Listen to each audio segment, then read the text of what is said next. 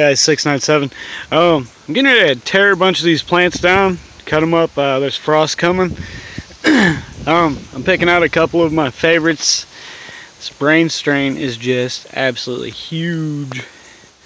Check them out. Uh, this one is going in the garage for a little bit. Hopefully, well, it's gonna sit outside the garage and then go back in.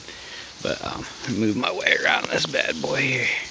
There's nothing but huge plant.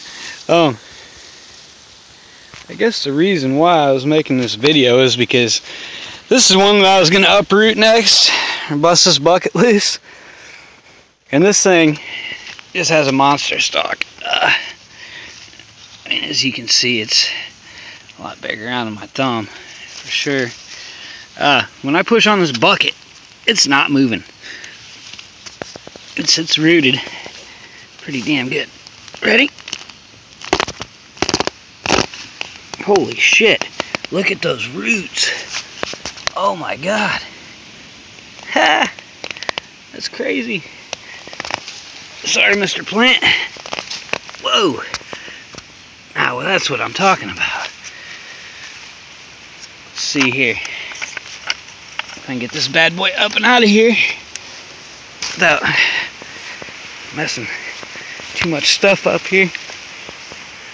Ugh. Try to get a, a better shot of it.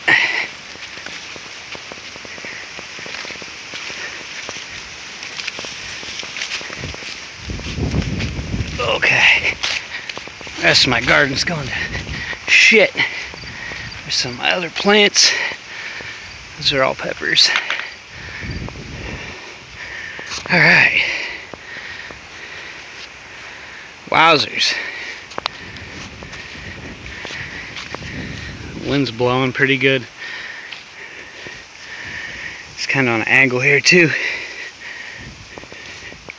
Looks like she's top heavy. She's tipping this way. Yeah. That's one hell of a nice plant. I couldn't resist showing off, so. Thanks for watching, guys. hopefully I get all these pods to ripen up. But uh, I don't know, I can't believe the root structure on that thing. I'm gonna overwinter this and uh, I'll probably put it in a in this uh, 50 gallon drum here next year. See what happens there. Um, clean her out first, of course.